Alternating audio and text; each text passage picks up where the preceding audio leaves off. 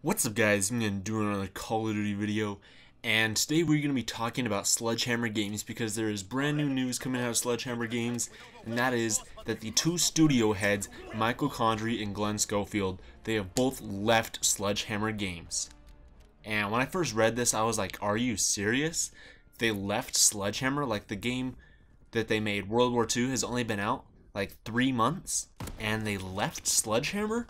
But then I read a little bit more into it, and they didn't just leave Sledgehammer, they moved to positions at Activision. So they're still working on Call of Duty and like within, you know, the whole like Call of Duty machine, but now they just work for Activision directly instead of for Sledgehammer. So they have been with Sledgehammer Games since it founded in 2009 and they worked together on Dead Space, you know, for EA and yeah, so they are new. Um, they have new executive duties within Activision, and uh, Activision published a statement, and they said, following the incredible success of Call of Duty World War II, Glen Schofield and Michael Condrey have decided to transition from their duties at Sledgehammer Games to new executive duties inside Activision. We thank Glen and Michael for their tremendous body of work on Call of Duty and look forward to continuing to collaborate with them in their new roles. These changes have created an opportunity to elevate one of the key leaders at the studio, Aaron Halon, to lead Sledgehammer Games. Aaron is a founding member of Sledgehammer Games and the natural fit to lead the team. He has over 20 years of industry experience and has played an instrumental role throughout the studio's history. We congratulate Aaron and are thrilled about the future of Sledgehammer Games, which we believe has even bigger days ahead. So they now have a brand new head of Sledgehammer. So no longer will it be Glen Schofield and Michael Condrey.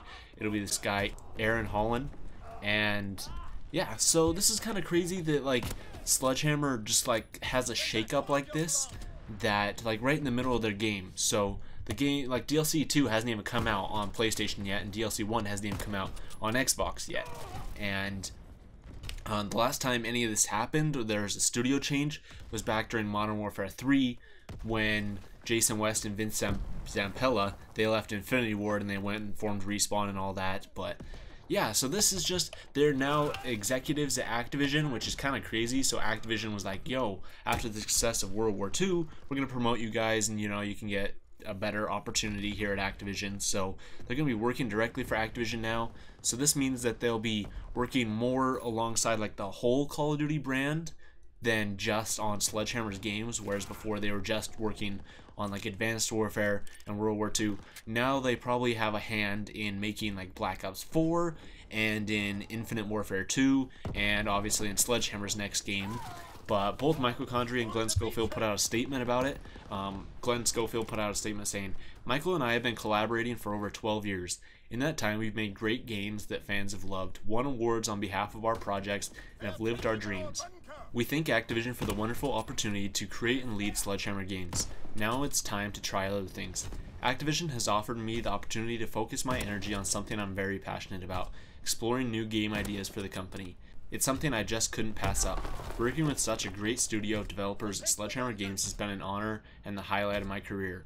The team is in great hands with Aaron. He has my full support and confidence. Thank you to everyone. And then Michael Condrey said, We founded Sledgehammer Games to bring together a world class development team with a singular goal of delivering excellence for fans. Over the course of nearly a decade, Glen and I proudly grew the studio and watched a new crop of leaders emerge within the team. On a personal level, I'm deeply grateful to the men and women who have poured their passion into the pursuit of excellence with us. I'm proud of what we accomplished together. It has been the greatest experience in my professional life. I'm looking forward to starting a new chapter of my career with Activision. I couldn't be more excited for the future of Sledgehammer Games and look forward to seeing Aaron lead the studio to new heights. So, um, they're going to be working on not just Call of Duty, but other things at Activision too. So, a lot of people are like, please don't have them have anything to do with like Black Ops 4 because a lot of people are kind of torn on World War II. They say it was a bad game, and it's also kind of curious that like Michael Condrey was on Reddit and he was on social media like com like communicating a lot with the community and just talking a lot and like really being really just great talking with the community and answering fan questions and stuff like that before the Resistance DLC came out. And then it seems that as soon as it came out, then he just stopped talking about it. So people are like, oh, come on. The reason he did that was just to hype up the DLC. The people are like, oh man, yeah, the developers are actually talking to us. Yeah, cool, I'll buy the DLC. And then after the DLC stopped talking, and I mean, it makes sense because now we found out that they've left Sledgehammer and now they've joined Activision. So obviously, this wasn't just like a one day thing. This has probably been in the works for, you know, at least the past like month, maybe two, where they, you know, Activision saw the success of World War II because World War II is the best selling Call of Duty game of this generation, which is kind of crazy to me to think that it beat Ghosts on Xbox One and PS4. It beat Advanced Warfare. It beat Black Ops 3. It beat Infinite Warfare, and it beat Modern Warfare Remastered. So I don't know. It's kind of cool.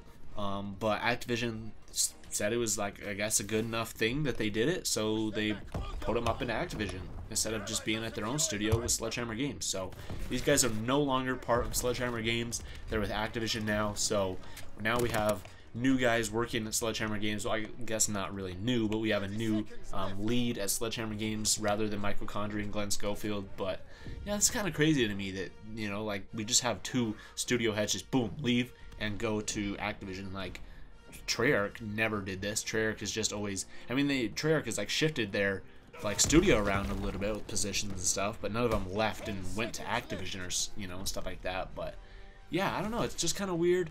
Um, who knows what this will mean for the future of Call of Duty. Um, for any new news and everything on Call of Duty and all this stuff, be sure to subscribe to my channel and check back for more videos.